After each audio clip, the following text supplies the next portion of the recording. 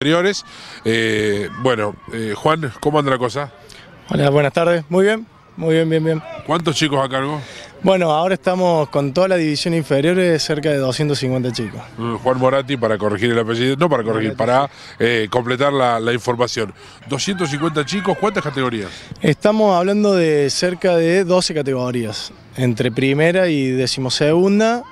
Este, son todas las categorías que competimos en, en la Liga Cordobesa. Bien, todo un laburito, ¿no? Sí, un desafío importante, muy lindo. La verdad que acompañando el crecimiento del club eh, ya se está trabajando muy bien.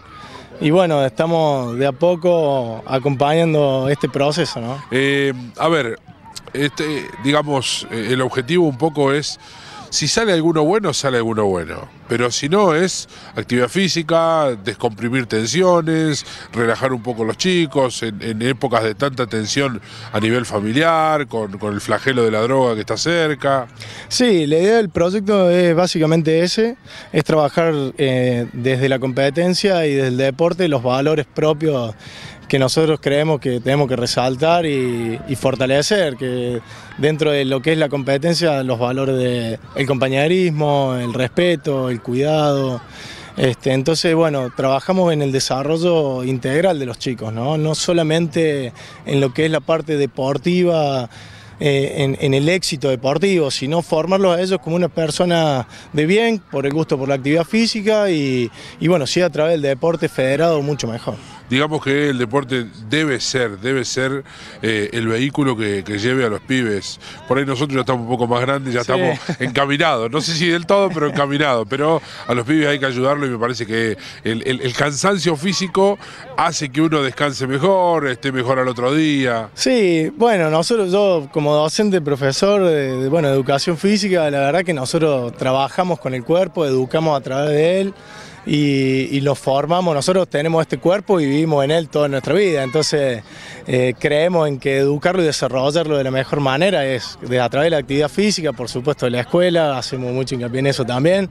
Así que bueno, el desarrollo integral de la persona, como te digo, de los chicos. Contame Juan, eh, eh, algunos ejercicios que estamos viendo, por ejemplo, están todos divididos por categorías. Sí, hoy estamos separados por categorías, estamos trabajando en espacios reducidos. La intención... ¿Dónde estás Orlando acá? Empezamos acá. Bueno, Ahí... esa es la categoría más chiquita, estamos en lo que es 2008, 2009 y Cebollita. Ellos juegan el preliminar siempre de lo que es la primera.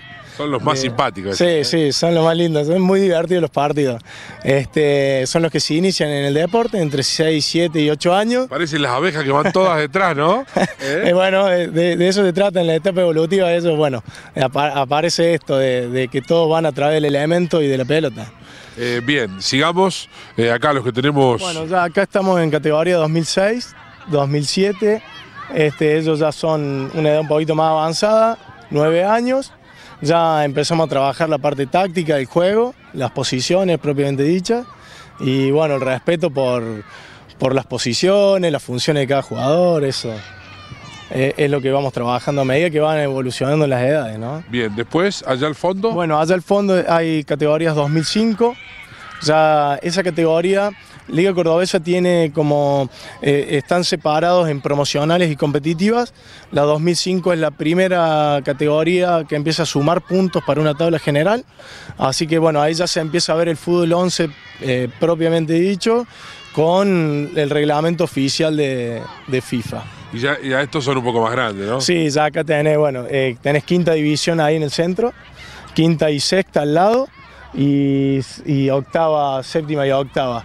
Este, serían categoría para que se ubique gente, 2001, los chicos nacidos 2001-2002 y 2003-2004. Ahí el profe está atajando un penal, que no me va a quedar mal. No, gol. Bueno, bien los chicos, entonces.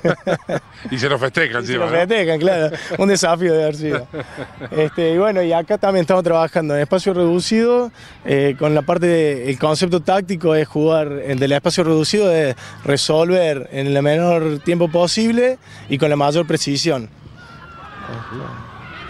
Acá estamos observando justamente el famoso y tan mentado loco, ¿no? Sí, el eh, nosotros lo, lo, trabajamos, es muy conocido, se lo van a ver, el cuadrado se llama también. Bien. Tiene dos comodines trabajando por afuera de las líneas eh, y los chicos lo pueden usar como apoyo cuando están encerrados en una presión sí. del rival dentro del cuadro. un toque de primera, por ejemplo. Ah, sí, to dos toques o toque de primera. Claro.